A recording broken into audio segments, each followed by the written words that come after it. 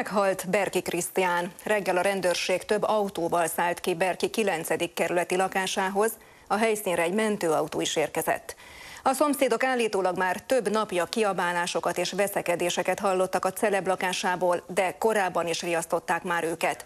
A rendőrség az Origónak azt mondta, nem merült fel idegenkezűség, vagyis nem gyilkosság történt. A focikapusból lett médiasztár, aki a legutóbbi főpolgármesteri posztért is indult, 41 éves volt. A helyszínről a 9. kerületi Tinódi utcából jelentkezik kolléganőnk Zavaros Eszter. Szia Eszter! Lehet-e tudni, hogy miben halt meg Berki Krisztián? Szervusz Viki, sok szeretettel köszöntöm a híradó nézőit. Nem lehet tudni egyelőre, hogy miben halt meg.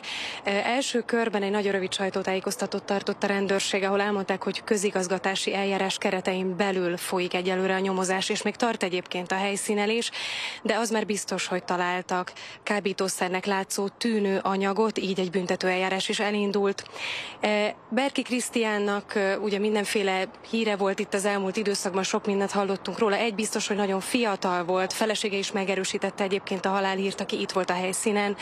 Itt a környéken lakók nem nagyon akartak ez ügyben nyilatkozni, de egyértelműen itt a szomszéd utcában egy-két lakó egyértelműen megerősítette azt, hogy buli volt előző este, ordibálást hallottak, és a rendőrség már nem először járt Berki Krisztián lakóhelyén.